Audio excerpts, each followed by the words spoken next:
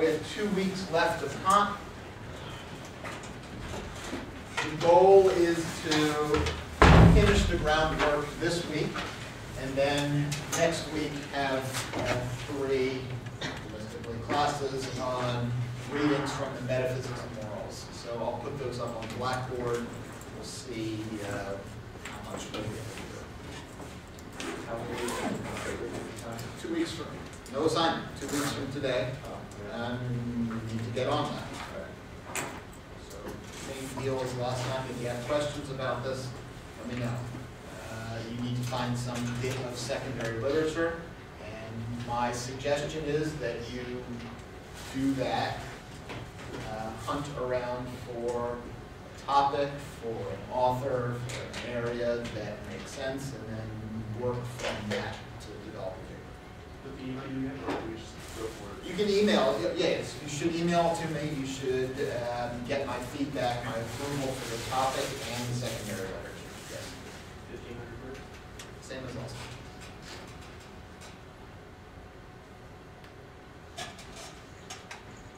Okay, we wound up talking about the idea of imperatives last time. The thought was that purely rational creatures would necessarily always act on the basis of practical reason.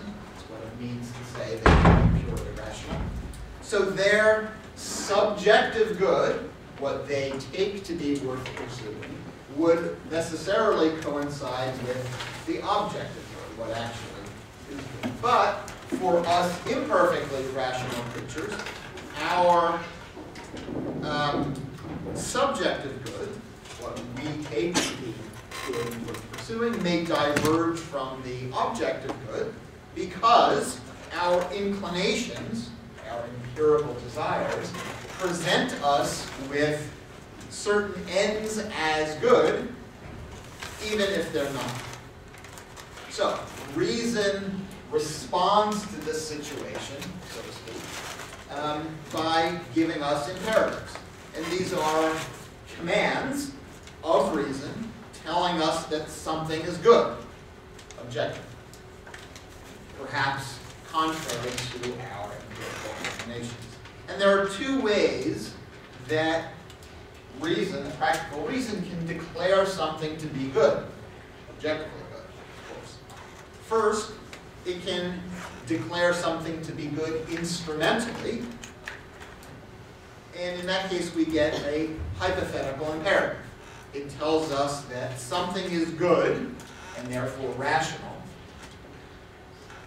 because it will help us get something else, which we take, which it takes to be good. So on condition that that end is good, a hypothetical imperative is going to tell us to do something else. It's going to tell us that something else is good on the assumption that some further end is good. It's good, the action or whatever, the thing that is commanded, is good because it will bring about what is assumed. Or, so all that was saying that there are hypothetical imperatives, which tell us that something is good, and the explanation for that is that it is good for bringing about something else, which is taken to be good, which could be taken. But there are also uh, imperatives that tell us that something uh, is good and rational for its own sake. Um, and this is what a categorical imperative is going to do. It's going to tell us that something is good for its own sake, rational to do, not because it will bring about some further end, which is taken to be good, could be taken to be good, but for its own sake. And that's what a categorical imperative asserts. And then there was this special kind of hypothetical imperative um, when the end is happiness, um, that's something, an end that we are assumed to want, and then one of these imperatives is going to be hypothetical, it's going to tell us what to do in order to bring about that end. Okay. Questions about that so far? All right, so hypothetical uh, imperatives. So, what do you call it? imperatives of skill. He says these are easy to understand. Um, that is, it's easy to understand why they say that something is rational or good. As he says on uh, the bottom of page 30. How an imperative of skill is possible probably requires no special discussion. Whoever wills the end, whoever wills the end also wills insofar as reason has decisive influence on his actions, the indispensably necessary means to it that is in his control. Um. As far as willing is concerned, this proposition is analytical, analytic. For in the willing of an object as my effect, my causality is already thought as an acting cause. Um, okay, so remember first of all that this claim that whoever wills the end also wills the indispensably necessary means insofar as he is rational. Is, um, he claims, analytic. Um, but I want to emphasize that this is a claim about willing, not simply a claim about, for example, mere wishing. So, I can wish that I could get rich simply by standing on the corner with the bucket and wish that, hope that gold will appear in it. But I'm not willing that end in that case. Or I'm not doing it rationally. Um, in order to will an end, I have to take the necessary means that are in my control uh, in order to pursue it. Sometimes the um, literature talks about the hypothetical imperative.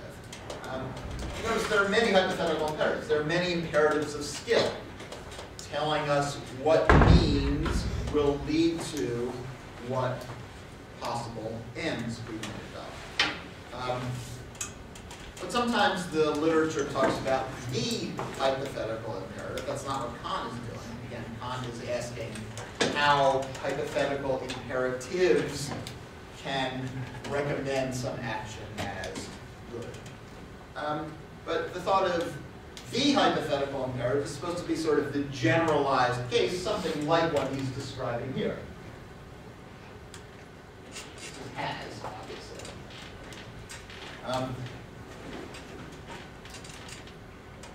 so the hypothetical imperative is supposed to be a requirement of practical reason that tells us that we must take, that it's rational, to take the essential means to pursue our ends.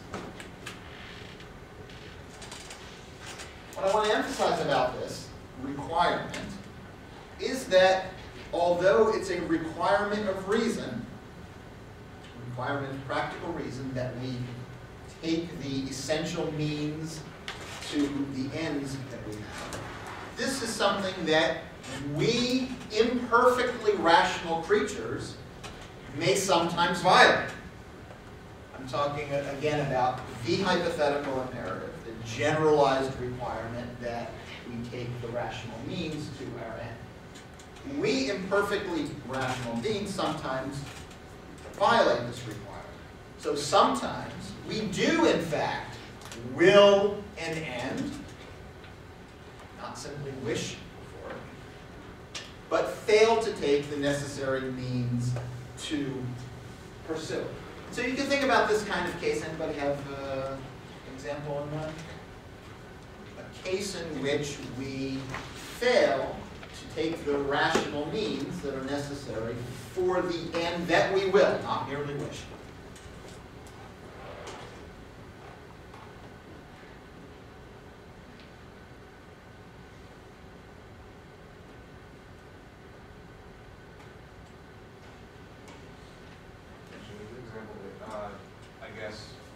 someone it's almost like car, and they they go about trying to achieve that, and they might not necessarily say they don't save money or they love frivolous or they don't have money they thought they would have or intended to have to pay for a car, so they then I don't know necessarily need to plan, but they didn't employ the rationale to achieve their ends.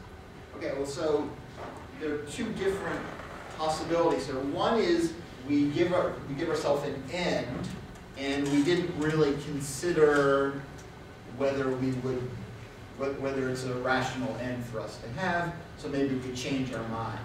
Right, so for sure, we can revise our ends. Um, but we need a case where somebody wills an end, holds on to that end, continues to take that to be an end that they're willing, but is not taking the essential means to it. Any of you smokers?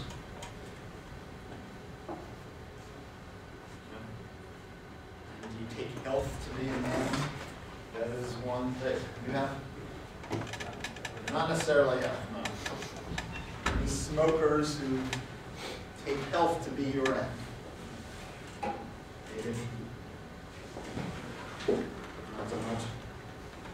All right, well, so look, you can imagine a smoker who takes health to be his end, but feels and knows that smoking is going to interfere with that end, but still feels the pull of that cigarette. The desire, the empirical desire is still a strong pull. And without giving up the end of health, still, when that cigarette is right in front of him, goes for it. So, cases of weakness of will are cases like this. Now, some philosophers have doubted the possibility of genuine weakness of will, but I don't think Kant does. I think Kant thinks that when we will an end, but sometimes don't take the essential means to that end, we are violating what I've called the hypothetical imperative. Uh, The explanation of this is that there's a kind of practical irrationality. We're doing something that, not doing something, that uh, interferes with achieving some end that we have, that we continue to do. And again, because we are imperfect rational creatures, sometimes we violate the hypothetical imperative related to an end that we have.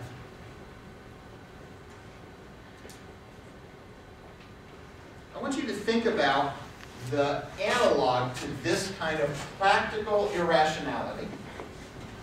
I want you to think about the analog to this kind of practical irrationality on the theoretical side. So on the theoretical side, maybe think about the principle of non-contradiction. Sometimes we